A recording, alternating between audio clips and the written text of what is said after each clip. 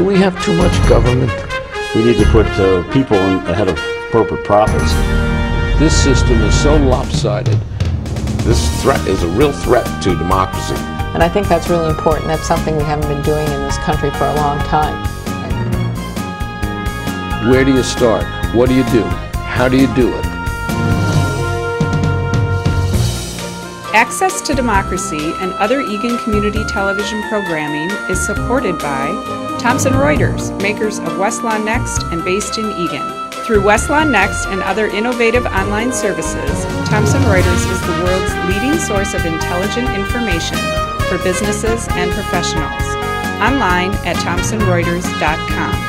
And by U.S. Federal Credit Union the member owned financial institution offering service, value, and experience you can trust to the greater Twin Cities community.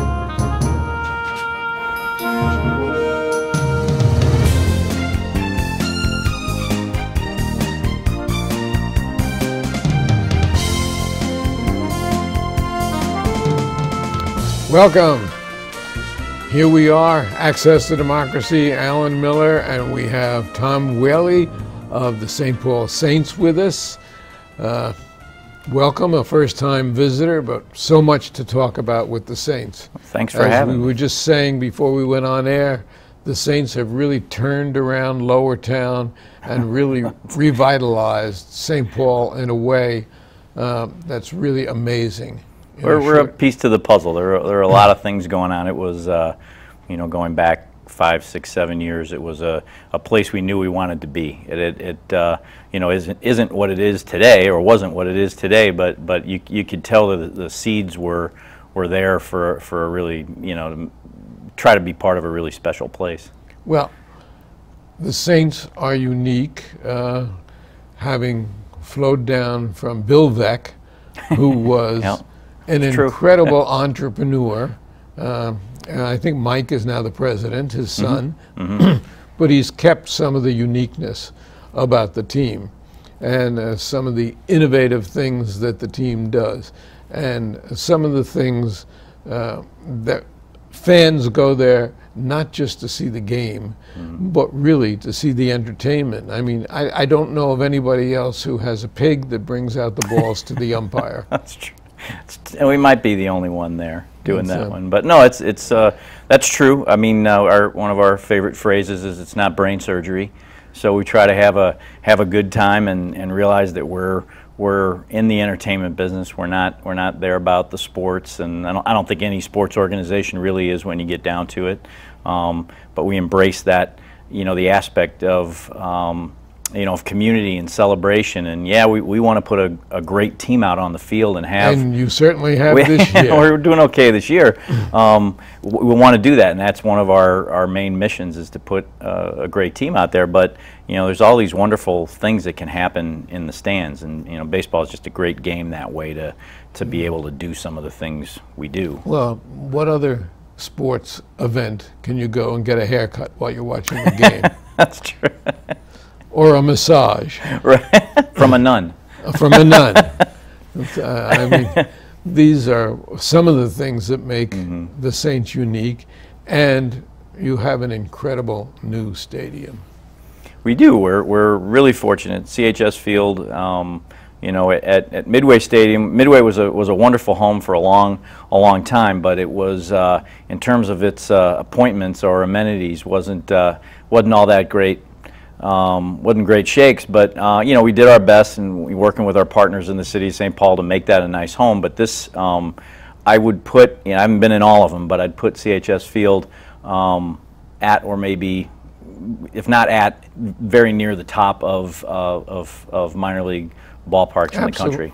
Absolutely. Mm-hmm. And uh, it's also got a much better location uh, than you had previously. It's accessible to so much. That, that, that was that was for us one of the real reasons to, to get excited about uh, about Lower Town was the accessibility at Midway Stadium. Everybody knew in town seemed to know where it was, and I think that helped us in the in the early years when you say you're you're on Snelling just south of the fairgrounds. Pretty much anyone in the state says, "Oh, I know where that is." Um, so we were lucky that way, and the state high school tournament was held there, so people knew that that ballpark for other things. But um, it, it, there wasn't a whole lot connecting it to the rest of of town. There was uh, there was no transit at all. There was one road in and one road out, um, so it was a little bit limiting that way. Certainly nothing around it um, other than the ballpark. But um, you know, you go into to downtown St. Paul and then more specifically into Lower Town, it's just I don't know. There's 30 or 35 bus routes. The light rail line opened last year. Um, you know, lots of amenities, bars, restaurants, hotels. I was going to say there are a lot of restaurants, uh, really unique restaurants that are very, very accessible to the stadium. Yeah, and, and it's, it's been fun. I, I, I tell folks when they say, what's the best thing about the ballpark? I, I love the ballpark. I think it, it's, it's, it's a beautiful, beautiful park, and there are lots of things I love about it, but the thing that I love about it most is where it sits. it's, in a, it's in a really wonderful, fun, vibrant neighborhood, and, and uh, it's just a, it's, a, it's a kick in the shorts to, to come to work every day in that neighborhood. And well, you're a recovering attorney, as am I, and uh, what you're doing is a lot more fun than uh, than practicing law was. Most days it is, I'd say. Probably overwhelming majority. I, I had uh, I had some really good times practicing law, but but uh, baseball's a, always been a passion. It's it's, it's a lot of fun. uh, yeah, uh, I grew up in New York on Long Island, and uh, so I became a Yankee fan. My parents and I used to go on Sundays Mm-hmm. to home games there, and uh, baseball has always been the sport for me. It's uh, it, it's it, same for me. I my, my earliest memories. I, gr- I grew up in St. Louis, and I've never haven't quite quit the Cardinals.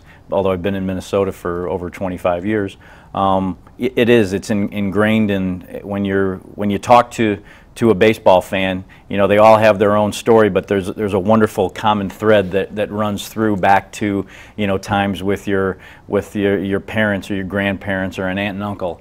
And Although it's just I, I have to say that I, I have become a homer very much, be it Twins or be it Saints. Uh, particularly when we first went to the Metrodome and the Yankees arrived, it was like the rich kids coming to beat up on, on uh, um, the, Sa- the Sandlot players. And I switched my allegiance then and there. Uh-huh.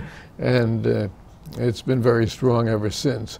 But now, you, you started out with the Saints a lot of years ago, but you also have experience in Major League Baseball as mm-hmm. well, which I think probably stands you in good stead as a vice president. You're one of the owners, you're a vice president, uh, and uh, you are the financial wizard of the of the of my of my own checkbook. Well, no, it's um, yeah. I, I had I had two really good years with uh, with the Tampa Bay Devil Rays at the time, and uh, I, I I don't you know although I, I I found out during my time there that I was more I have a five minute attention span, so I was better suited for minor league baseball. You have to wear a, a bunch of different hats, but um, I had a had a really good time and learned a ton in uh, in Tampa Bay and, and, and had a lot of fun. Um, you know the the the biggest thing I learned is I, I really love minor league baseball and I love independent baseball. It's a, it's a, it's a, it's a lot of fun. There's, there's, there's something new every day. Now, the, the team is, I think, 11 games in front at this point in the division, 27 and 6. but it hasn't always been that way. But Saints fans have always been there. Uh, maybe the uniqueness, maybe it's the fact that they are the little guys st- striving. Now they're the big guy. Uh, That's right. but uh, you have a unique mascot. We do.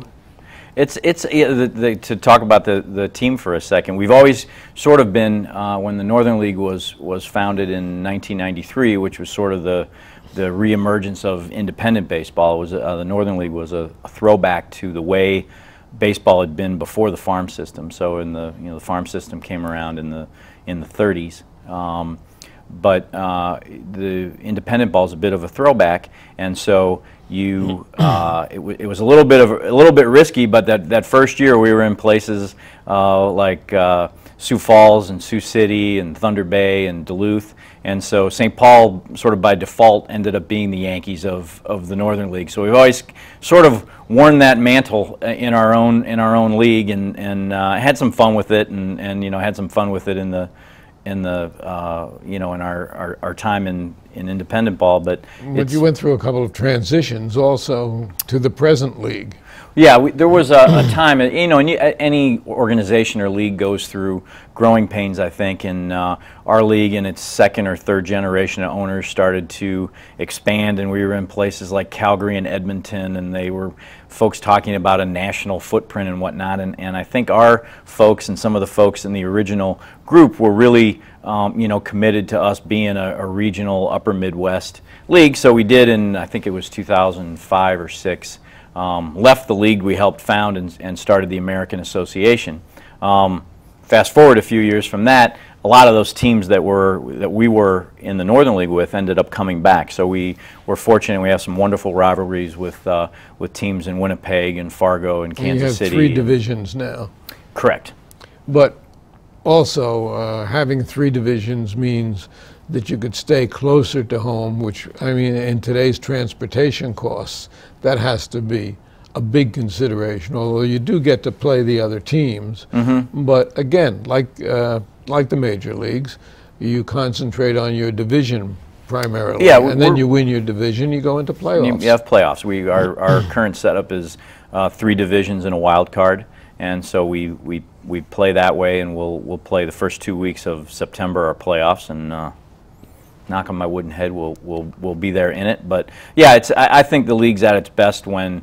You know, we go as far east as Gary, Indiana, um, as far west as Wichita, um, and up to Winnipeg, and and it's it's it's the it's that that region of the country, and it's a, it's a, it's a wonderful place to do what we do. At the Upper Midwest is It's not just taking your players, though. It's taking the equipment, it's taking the bats, it's taking the uniforms, it's taking the medical personnel, it's taking the management team. Uh, logistically, that's got to be a nightmare. it's it, it you get you get a system down. Everybody has the, has their system, and uh, you know, fortunately, we um, you usually or we've had good fortune with keeping the same uh, driver. We travel by bus for the most part, and yeah, it's not an easy life for for those guys. I mean, they were we played a game late. Uh, when, or we played a game Wednesday afternoon. The guys, so the guys did get to uh, sleep in their own beds Wednesday night, but they got up and have to be at the park by seven, seven thirty, so they can get on the bus to go to Fargo, and they'll play four games up there this weekend, and then drive uh, from Fargo down to Lincoln, Nebraska, and uh, you know after a night game in Lincoln, they'll they'll bus back and arrive back at six or seven in the morning to St. Paul, and so it, it gets to be it's a grind on them. It's not an easy. Well, that's what everybody says about minor leagues as well as independent leagues. And uh, there's something very special about an independent league, though. I mean, because you're not affiliated with a major league team. Mm-hmm.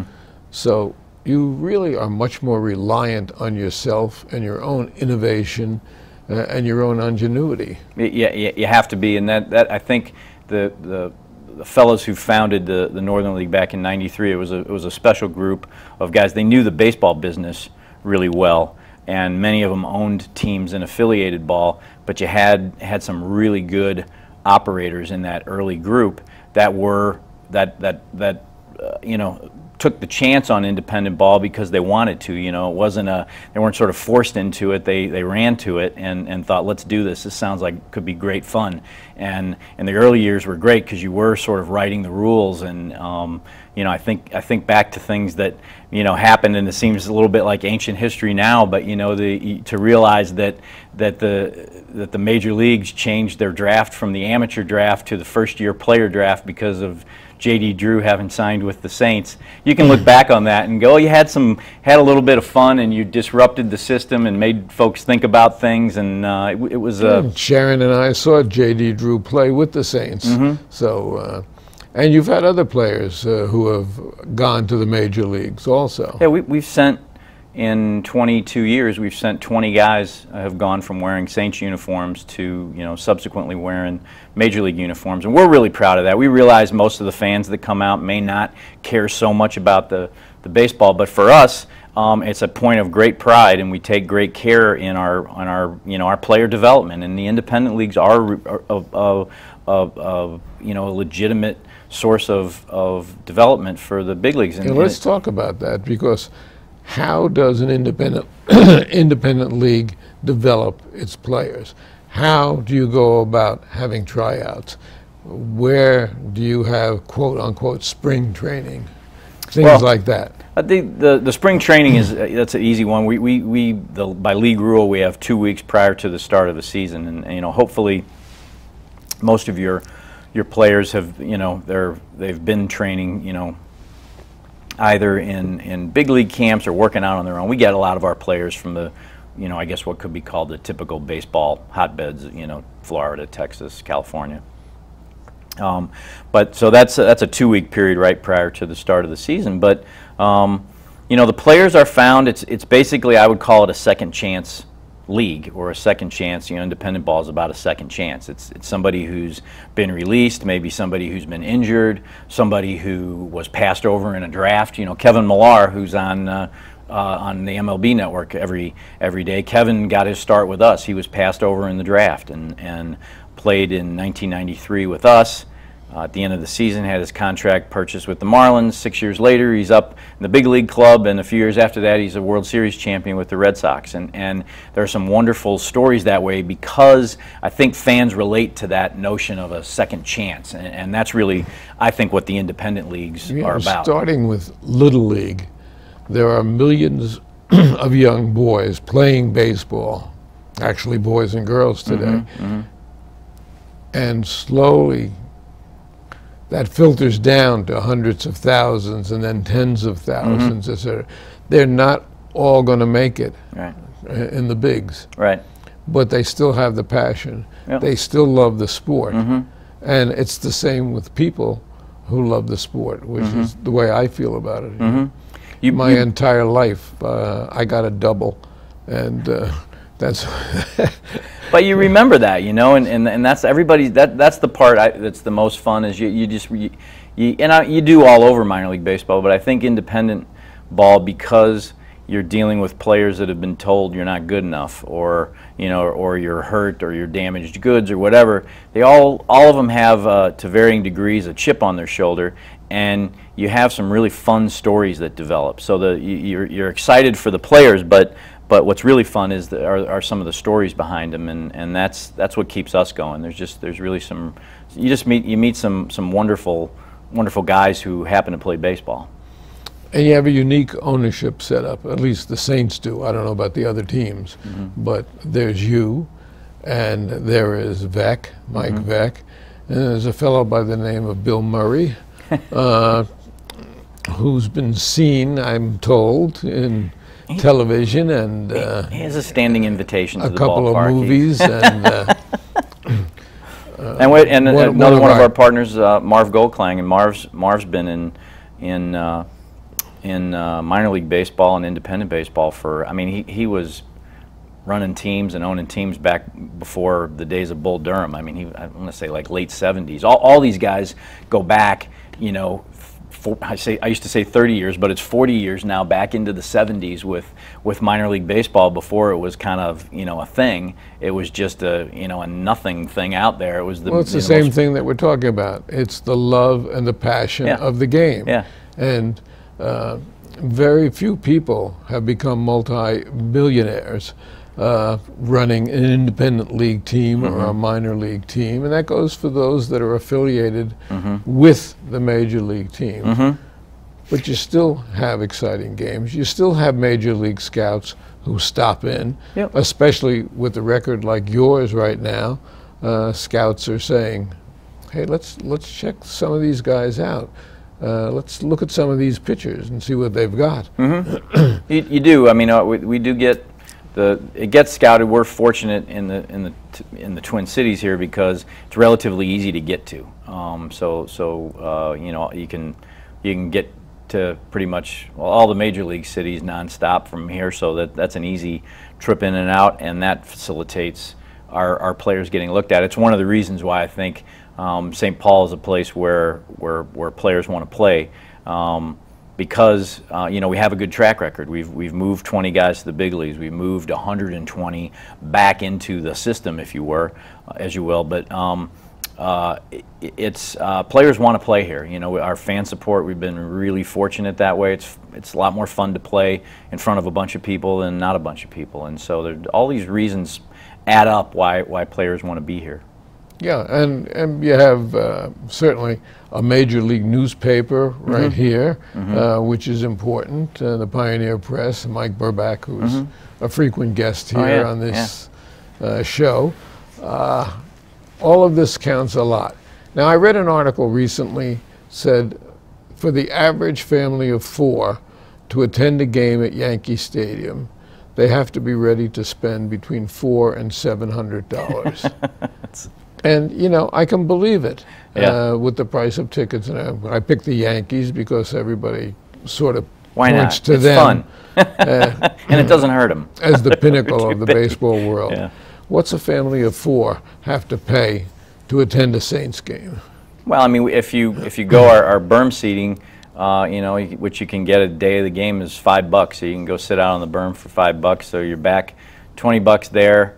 Um, you know, we've got uh, hot dogs, two dollars and fifty cents. You know, as opposed to five fifty up to seven dollars for a hot you know dog. we, we will sell you a five dollar and fifty cent hot dog, but the point is from from an access standpoint, um, you know, the new ballparks allowed us to do more. We've got more bells and whistles that we can make more fun stuff, and, and some people like to pay for it. But but what was critical for us in going from Midway Stadium to CHS Field was that we maintain that affordability, and we were we were able to do that. So you can still, when you ask the question, I, I would say 40, 45 bucks. You know, a family can come out and and have a really good time at the game, see some great baseball, you know, be really entertained. quality baseball. Yeah. No question about that.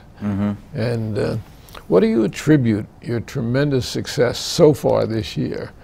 Uh, I mean, it's always been a competitive team. It's been a playoff Mm-hmm. team. It's been a good team.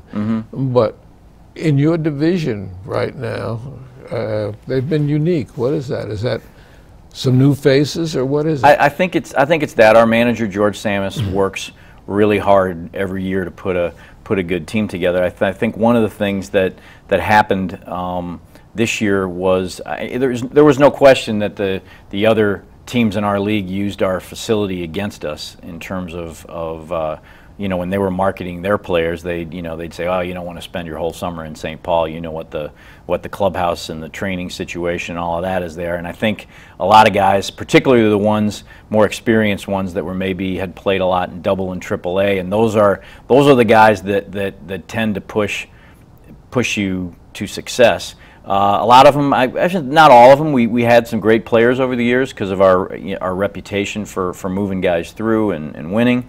But I think um, it was successful in some some cases where they'd say, ah, yeah, I don't want to spend my my summer in that clubhouse in St. Paul. Whereas now, uh, you know, we've probably got, uh, you know, it's a state of the art facility. It's, Yeah. there- there's not a finer place to play minor league ball in the country than than St. Paul. So um, that that bit's been been taken away and, and I think helped us. So what you see on our roster now is we've got guys that are you know with with, with good double and triple A experience and in some cases uh, major league experience that are saying yeah I'll, I'll go to St. Paul and play. That's really helped. and uh, I, I will be aging myself, but uh, uh, my parents moved to Minneapolis. Uh, we were here for a couple of years when I was in college, and it was the Minneapolis Millers and the St. Paul Saints. How far we have come. Yep. Yes, it's, it's it was uh, that was a that was quite a rivalry, and when you read up on it, um, boy, the the uh, the two communities had a lot of fun around their their baseball teams, and uh, you know it's kind of neat today. It's not necessarily the rivalry anymore between two teams that played each other all the time. Um, but uh, pretty sure this market's the only market in the country where all our major sports buildings are on are connected, uh, you know, by a rail line or, or transit. We're it's very fortunate now, with Yeah. Mm-hmm. the, especially with the Green Line now going in, and we can get on at Fort Snelling Mm-hmm. in the Blue Line and transfer to the Green Line and, and be there. Uh, And if it's off-peak time, which it generally is, uh, you can be there inexpensively. Yeah, and, and it's it's been I, I did it last week. I took the it's the only way I go anymore over to Target Field. I to see the Twins. I I jump on the train. It's it's a really easy way to get over there, and I think. Um, you know, we're still gathering information, but I think a lot of folks are, are taking the train, and as as time goes on, more will um, to, to to come see us. So Although parking near your stadium is not as expensive as it is near Target Field, but uh, that stands to reason just based on independent league as opposed to major league. Yeah, it's it's uh it's it's real affordable. I mean, most of the the lots and the ramps around, you're talking you know five, six, seven, eight bucks to, to park. It's not a not a, not too burdensome. Now you have some unique promos during the year, promotions. What do you have coming up? Well, Here we are at the end of June, and uh, we still have a whole season ahead of us, July, August, and We into do. the into the uh, end of the season. I'm trying to think now as we go. I should I should have memorized my promotional schedule before I came over, but um, yeah, it, uh, Well, it's available online. It is available online, so folks can go. But no, it's it's uh, each each night when you come out to the ballpark is is a different theme. You know, each each each week ha- each day of the week has a theme, and then each night has its own special theme. So it's uh, I, there's not a not a game on the schedule where we're just doing baseball. You're you're you're out there and and uh, and we're gonna we're gonna do something something crazy. Hopefully, give you something to talk about around the water cooler. and smile and have fun. Uh, same with your family. How do the umpires react to getting uh, baseballs from a pig? Most of them are really good sports about it. Pablo Picasso. Pablo Picasso this year. That's, yeah, uh, yeah. We've had uh, we've had some fun. That's one of our favorite days uh, in the office. Is the the date we collect all the uh, we do a name the pig contest every year, and uh, we collect the names of that folks send in to us. And, and man, the stuff folks come up with is, is hilarious. So we, we have a good time that day and going through. But Pablo Picasso. Uh, given our proximity to an arts community and, and how important art's been to us through the years, uh, seemed seemed fitting. And uh, fitting it is. How do you train the pigs? We have a we have a trainer. Um, Dennis Houth runs a, as a as a farmer over in western Wisconsin, and f- since uh, since the very first uh, mascot, the Saint, in 1993, uh, Dennis trains them and uh, uh, over there and, and starts them at a you know pretty much from birth with training and and by now uh, I think I think Pablo's a couple of months old now. They really start to get the routine. They're they're very intelligent animals. They Yeah. they're they're smarter than dogs and so you, you can train them and have some fun with them and uh, we've got little tricks hopefully that nobody sees between the umpire and the dugout and whatnot that we uh, that we utilize so uh, uh, to get Pablo to cart the balls out to the ump. We've been talking with Tom Whaley of the St. Paul Saints. Uh, first time here, but hope you come back uh, certainly before the end of the season. Uh, it's been a pleasure. Uh, any final thoughts to the fans?